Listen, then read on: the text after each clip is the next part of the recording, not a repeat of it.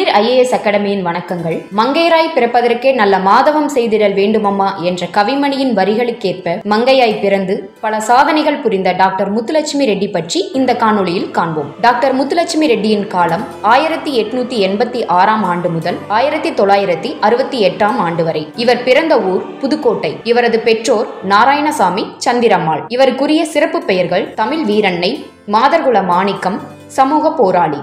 இவர் பாலையா என்ற ஆசிரியரிடம் கல்வி பயின்றார். ஆயிரத்தி தொள்ளாயிரத்தி இரண்டாம் ஆண்டும் புதுக்கோட்டையில் மெட்ரிக் தேர்வில் முதலிடத்தில் தேர்ச்சி பெற்றார். மகாராஜா கல்லூரியில் உயர்நிலைப் பள்ளி படிப்பை புதுக்கோட்டை மன்னர் மார்த்தாண்ட பைரவ தொண்டைமானின் உதவித்தொகையுடன் படித்தார். ஆயிரத்தி தொள்ளாயிரத்தி ஏழாம் ஆண்டு புதுக்கோட்டை மன்னர் உதவியுடன் சென்னை மருத்துவக் கல்லூரியில் முதல் பெண் மருத்துவ மாணவியாக சேர்ந்தார். ஆயிரத்தி தொள்ளாயிரத்தி பனிரெண்டில் சென்னை மருத்துவக் கல்லூரியில் தேர்ச்சி பெற்றார். அறுவை சிகிச்சை பிரிவு தேர்விலும் முதல் மாணவியாக வெற்றி பெற்று தங்கப்பதக்கம் வென்றார். ஆயிரத்தி தொள்ளாயிரத்தி இருபத்தி ஐந்தில் இந்திய அரசின் உதவியுடன் லண்டன் செல்சியா மருத்துவமனையில் தாய்சேய் மருத்துவ பயிற்சி பெற்றார். மேலும் ராயல் புற்றுநோய் மருத்துவமனையில் புற்றுநோய் ஆராய்ச்சி செய்தார். இவர் ஆயிரத்தி தொள்ளாயிரத்தி பதினான்காம் ஆண்டு டாக்டர் டி. சுந்தர ரெட்டி என்பவரை பிரம்மஞான சபை வழக்கப்படி சடங்கு முறைகளின்றி எளிய முறையில் ஜாதி மறுப்பு திருமணம் செய்து கொண்டார். இவர் நடத்திய சமூக போராட்டங்கள் தேவதாசி முறை ஒழிப்பு சட்டம் இருதார தடை சட்டம் பெண்களுக்கு சொத்துரிமை வழங்கும் சட்டம் குழந்தை திருமண தடை சட்டம் பெண்ணின் திருமண வயதை உயர்த்தும் சட்டம் பெண்களுக்கு வாக்குரிமை வழங்கும் சட்டம் போன்ற சட்டங்களில் உருவாக இவர் காரணமாக இருந்தார். தேவதாசி முறை ஒழிப்பு சட்டம். சட்டப்பேரவையில் தேவதாசி முறையை ஆதரித்து தீரர் சத்தியமூர்த்தி பேசிய போது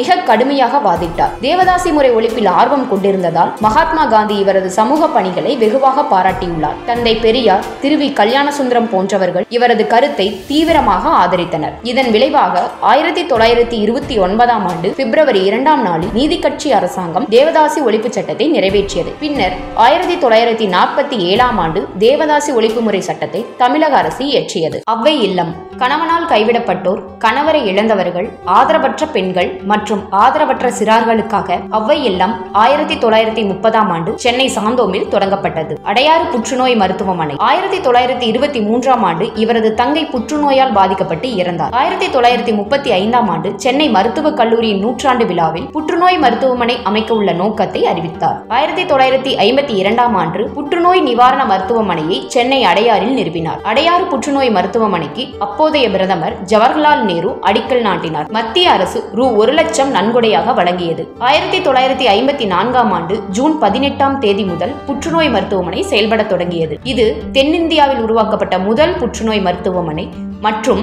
இந்தியாவில் தொடங்கப்பட்ட இரண்டாவது புற்றுநோய் மருத்துவமனை என்ற பெருமைக்குரியதாகும். இந்திய மாதர் சங்கம் ஆயிரத்தி தொள்ளாயிரத்தி பதினேழில் அன்னி பெசன்ட் அம்மையார் மற்றும் மார்கரெட் கசின்ஸ் அம்மையார் ஆகியோரின் முயற்சியால் தொடங்கப்பட்ட இந்திய மாதர் சங்கத்தில் முத்துலட்சுமி ரெட்டி அவர்கள் இணைந்து பணியாற்றினார். முத்துலட்சுமி ரெட்டியின் முதன்மைகள் தமிழகத்தின் முதல் பெண் மருத்துவர் இந்தியாவின் முதல் பெண் மருத்துவர் ஆசியாவின் முதல் பெண் மருத்துவர் தமிழ்நாடு அரசு மகப்பேறு மற்றும் கண் மருத்துவமனையில் முதல் பெண் அறுவை சிகிச்சையாளர் இந்திய பெண்கள் சங்கத்தின் முதல் தலைவர் ஆயிரத்தி தொள்ளாயிரத்தி இருபத்தி ஏழில் பிரிட்டிஷ் இந்தியாவின் சட்டமேலவையின் முதல் பெண் உறுப்பினர் சட்டமேலவை துணைத் தலைவராக இருந்த உலகின் முதல் பெண்மணி இவர். ஆயிரத்தி தொள்ளாயிரத்தி ஐம்பத்தி நாலு ஆயிரத்தி தொள்ளாயிரத்தி ஐம்பத்தி ஏழு வரை மாநில சமூக நல ஆலோசனை வாரியத்தின் முதல் தலைவர். சிறப்புகள்.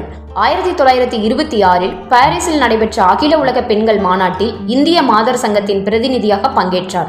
ஆயிரத்தி தொள்ளாயிரத்தி முப்பதாம் ஆண்டு பூனாவில் அனைத்திந்திய பெண்கள் மாநாட்டை நடத்தினார். ஆயிரத்தி தொள்ளாயிரத்தி முப்பதாம் ஆண்டு உப்பு சத்தியாகிரகத்தின் போது காந்தியை கைது செய்ததை எதிர்த்து தனது சட்டமன்ற உறுப்பினர் பதவியையும் துணைத் தலைவர் பதவியையும் துறந்தார். ஆயிரத்தி தொள்ளாயிரத்தி முப்பத்தி மூணில் லண்டனில் நடைபெற்ற வட்டமேசை மாநாட்டில் பங்கேற்று பெண்ணுரிமைக்கான குரலை லண்டனில் எடுத்துரைத்தார். ஆயிரத்தி தொள்ளாயிரத்தி முப்பத்தி ஏழில் சென்னை மாநகர தலைமையாளரால் ஆல்டர் உமன் பட்டம் வழங்கப்பட்டது. ஆங்கிலேயர் ஆட்சி காலத்தில் அலுவல் ரீதியாக மிஸ்ஸஸ் ரெட்டி என்று அழைக்கப்பட்டார். ஆயிரத்தி தொள்ளாயிரத்தி நாற்பத்தி ஏழில் செங்கோட்டையில் ஏற்றப்பட்ட முதல் தேசிய கொடியில் இவரது பெயர் இடம்பெற்றது. இவர் இயற்றிய புத்தகம் ஒரு சட்டமன்ற உறுப்பினராக எனது அனுபவம். My experience as a legislator இவருக்கு அரசு செய்த சிறப்புகள். ஆயிரத்தி தொள்ளாயிரத்தி ஐம்பத்தி ஆறில் முத்துலட்சுமி அம்மையாரின் சேவையை பாராட்டி மத்திய அரசு பத்மபூஷன் விருதை வழங்கியது. இவரின் நினைவாக புதுக்கோட்டையில் உள்ள அரசு மருத்துவமனைக்கு டாக்டர் முத்துலட்சுமி ரெட்டி அரசு மாவட்ட தலைமை மருத்துவமனை என தமிழக அரசு பெயர் சூட்டியிருக்கிறது. பட்டங்கள் ஆள்வதும் சட்டங்கள் செய்வதும் பாரினில் பெண்கள் நடத்த வந்தோம்